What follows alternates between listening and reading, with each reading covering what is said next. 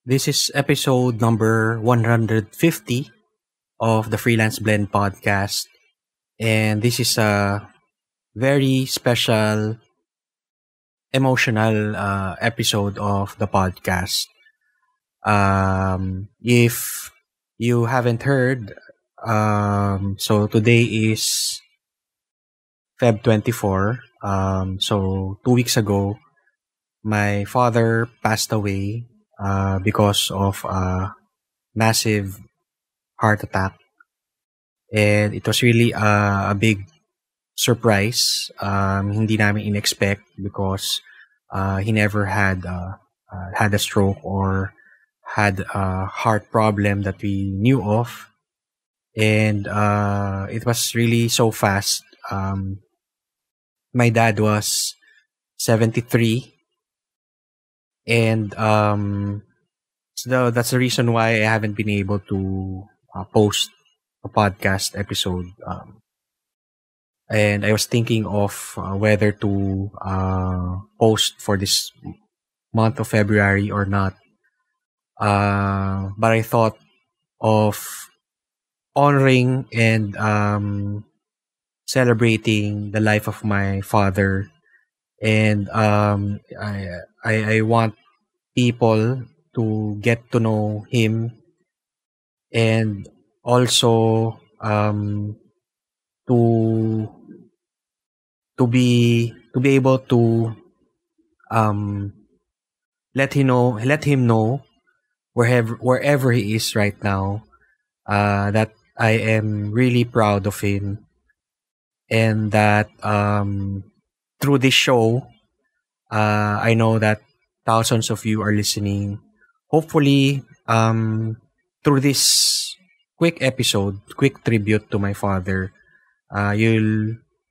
I appreciate it that uh, after listening to this, uh, if you can say a little prayer for him, um, because he he needs our prayer. So that's the the main reason talaga why I'm doing this so that um um, I can reach a lot of people and um, and and um, he will get thousands of people praying for him so that uh, um, he he he hears us and uh, in a way sana matuwa siya sa sa ating um, message for him and to God that uh, that he's okay.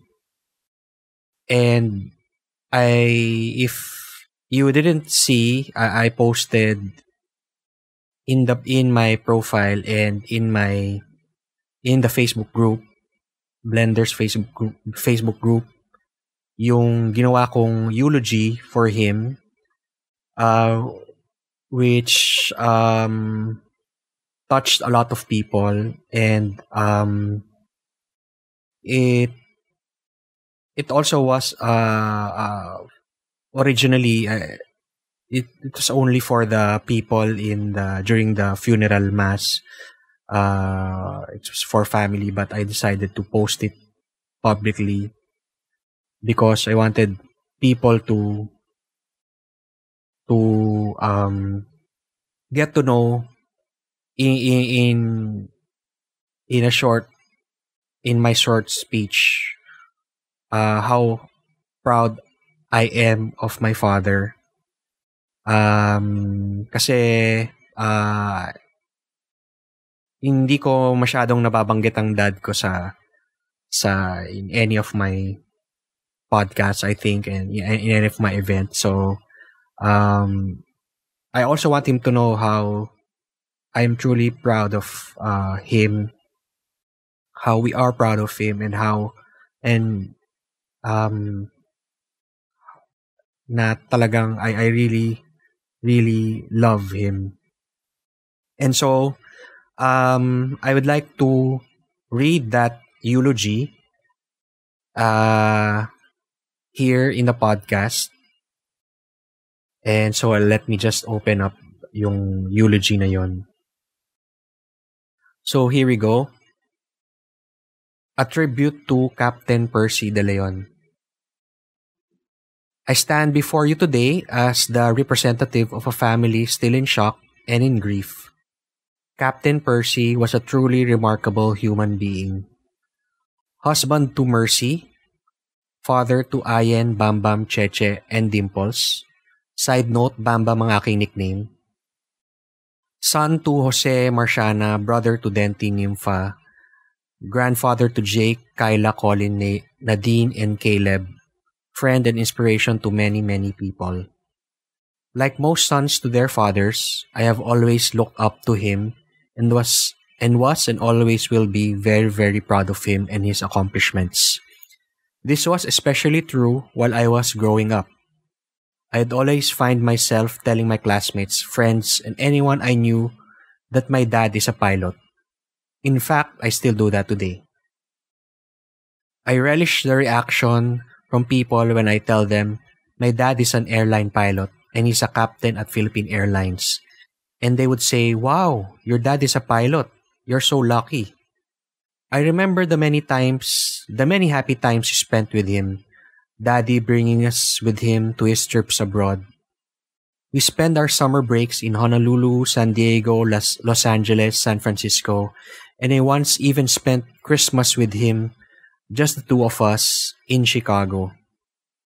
And during those times, with Dad as the captain, I saw how everyone, the crew, the passengers, and the people around him, loved, respected, and admired him. I saw how his, how everyone's eyes lit up whenever they see him. And I always told myself, when I grow up, I wanted to be just like Daddy. I wanted to have many, many friends too, and gain the respect and recognition of my peers. I wanted their eyes to light up when they see him, they, when they see me. I wanted to be just like Daddy. During those flights, my most awaited part is when, a few min- minutes after takeoff, Daddy spoke on the intercom. Ladies and gentlemen, this is your captain speaking. I wanted to shout out loud to the top of my lungs that's my daddy. That's my daddy. Years later, I will find out that daddy was actually a shy person and shunned the limelight. It must have been a big undertaking for him to speak to hundreds of passengers. And then my favorite part, especially during those long haul flights, was when he would come out from the cockpit to check on me. He had to put on a coat to cover his pilot's uniform and take off his hat so that so that passengers would not panic, thinking that nobody was flying the aircraft. It was on autopilot, of course. Then he will take me by the hand and bring me inside the cockpit and have me sit behind him while he lands the aircraft in the most perfect and safest landings you'll ever experience in your life. Passengers will even applaud him for those perfect landings a gesture to thank Daddy for ke- keeping them safe, comfortable, and alive throughout the journey. Again, I wanted to shout to the world, That's my daddy. That's my daddy. Then, before leaving the plane, he would pick us up from our seats, now in his full pilot gear and his total handsomeness, tell us, Let's go. And then I would walk proudly, people staring at us and gushing, Siya ba yung pilot natin? Ang gwapo. Lodi.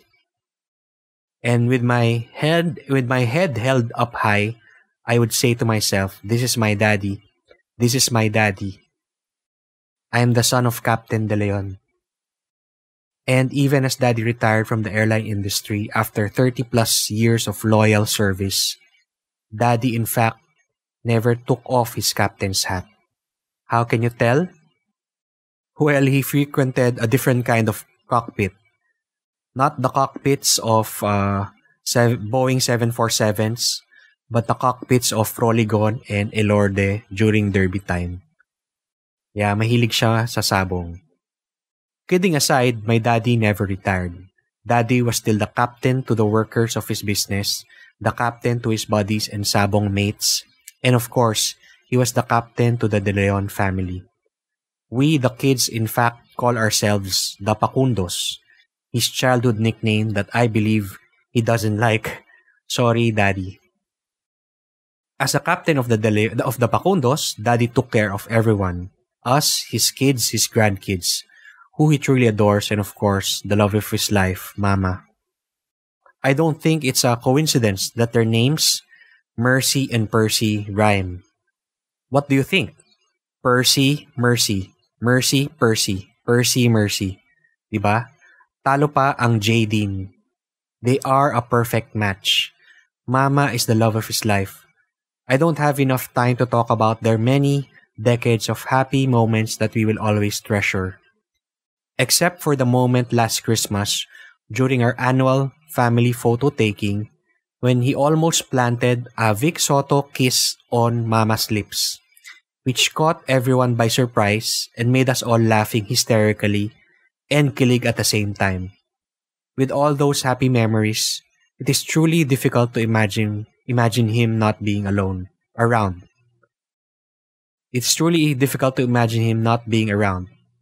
And not and I'm not sure how we will all cope. Dad lived a long and happy life and only succumbed to ill health right at the very end. As we gather here today to remember and commemorate his life, let us bid him farewell as we mourn the loss of a lively, dignified soul. A soul that brought joy and fulfillment to many, and whose legacy will live on forever. I will see you again, Daddy. I would like to end this speech by shouting proudly, That's my daddy. That's my daddy. Thank you. Thank you for listening to this uh, blenders. Thank you for for your support uh, throughout the years. And as I mentioned earlier, I hope in your own little way, uh, please say a little prayer for Captain Percy De Leon. Thank you and peace to everyone. Bye.